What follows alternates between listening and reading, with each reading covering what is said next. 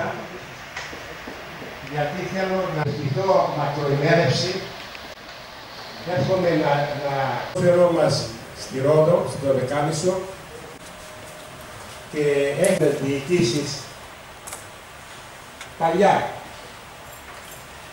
Για το ποδόσφαιρο πριν σαν επίτιμος πρόεδρος πάντοτε έλεγα στους συνεργάτες μου και στους μετέπειτα πρόεδρους που είχαν υπάρξει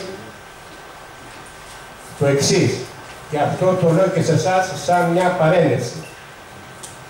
Πρόεδρε, έλεγα ότι όλοι μας ανήκουμε σε ένα σωματείο.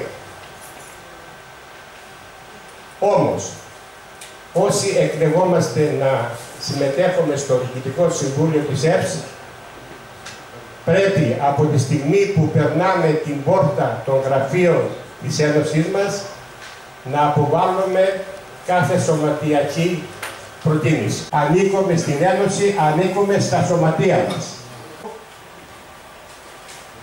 Και όλων όσοι ασχολούνται με το ποδόσφαιρο. Για τα πατέ γραφεία της ΕΠΣ.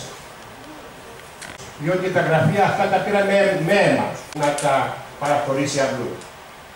Λυπάμαι που το λέω, να κρίζω, γιατί βλέπω μια εγκατάλειψη τέλεια. Δήμωση να παίξει τώρα Και η έτσι, έτσι δεν είναι; Η ταμπέλα απ' έξω θα λέει Ένωση και μία άλλη ταμπέλα με μικρά γράμματα της ενώσεως. Γιατί θα έχετε εάν κανείς, οποιοδήποτε καν είναι, ή εσείς ή μετέπειτα, να δώσουν αυτά τα γραφεία εκτός έχουν να κάνουν με τις παιδικές εγκαταστάσεις, έχουν να κάνουν με τη διατησία, έχουν να κάνουν με την οργάνωση της Ένωσης και βέβαια για την αναβάθμιση και την ανάπτυξη του ποδοσφαίρου.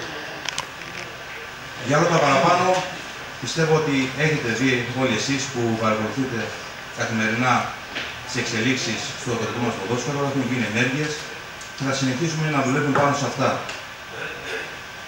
Σίγουρα χρειαζόμαστε την ε, συμπαράσταση όλων εσάς, να είστε δίπλα μας, παιδιτές μας, αλλά να μας λέτε και τα προβλήματά σας, να μοιράσετε τα προβλήματά σας μαζί μας, για να μπορέσουμε να δίνουμε τις λύσεις που πρέπει να δίνουμε στον δύσκολο χώρο αυτό του τοπικού ποδοσφαίρου. Είναι μια προσπάθεια που ξεκίνησε πριν από τρεις μήνες από αυτή εδώ τη διοίκηση και θα συνεχιστεί πιστεύω και έχω δώσει εντολή σε όλους τους συνεργάτες μου οποιαδήποτε στιγμή τους χρειαστείτε να είναι δίπλα σας, όπως βέβαια και εγώ.